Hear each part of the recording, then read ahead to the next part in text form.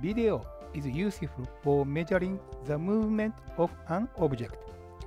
Let's take a video of the free fall motion and calculate the gravitational acceleration. Procedure for this experiment is four steps. First, take a video of free fall. Second, read and record the ball position from each frame of the video. Third, calculate periodical velocity and make a graph. Fourth, calculate the gravitational acceleration from the velocity and time graph. Materials are ball, a smartphone, and a large scale. Make a large scale for measurement. Draw a line every 10 cm on the paper.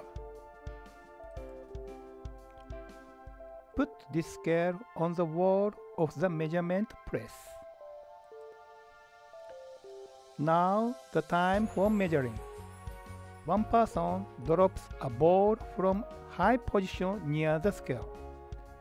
Another person takes video by smartphone.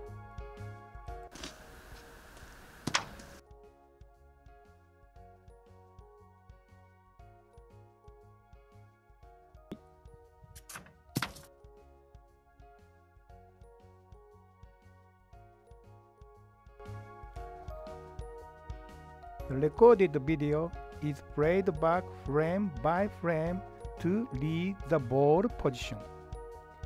Free software is available for frame by frame playback. In the classroom, all students can join the readings together with a big screen. This is a seat for recording reads.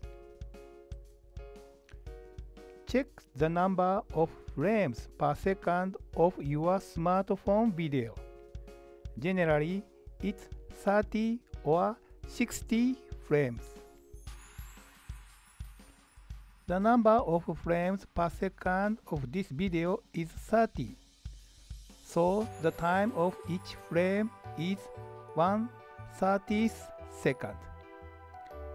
This is the time for the position and the time graph. It is the time at the midpoint of each frame. This time is for the velocity and the time graph. Let's read and record the ball position from each frame of the video.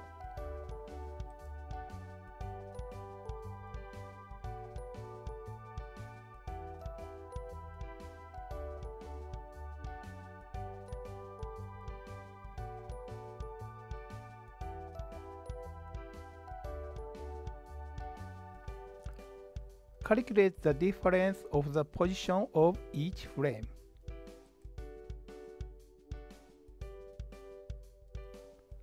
The periodical velocity of each frame is calculated from the difference.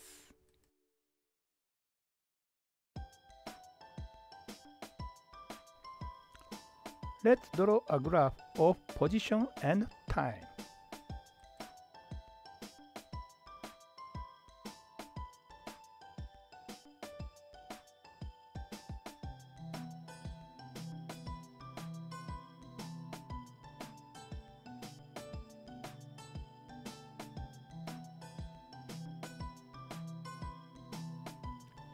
It shows a quadratic curve. Let's draw a graph of velocity and time.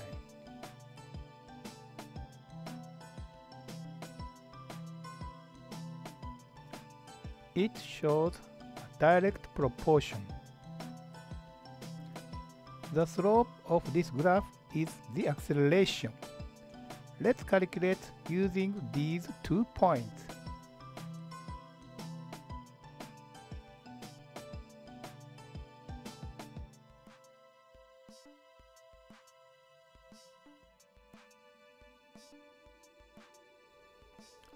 Calculation result is 984 centimeter per the square of second. This is the experimental result of gravitational acceleration. If you make an Excel sheet with calculation formulas, you can draw a graph at the same time as reading.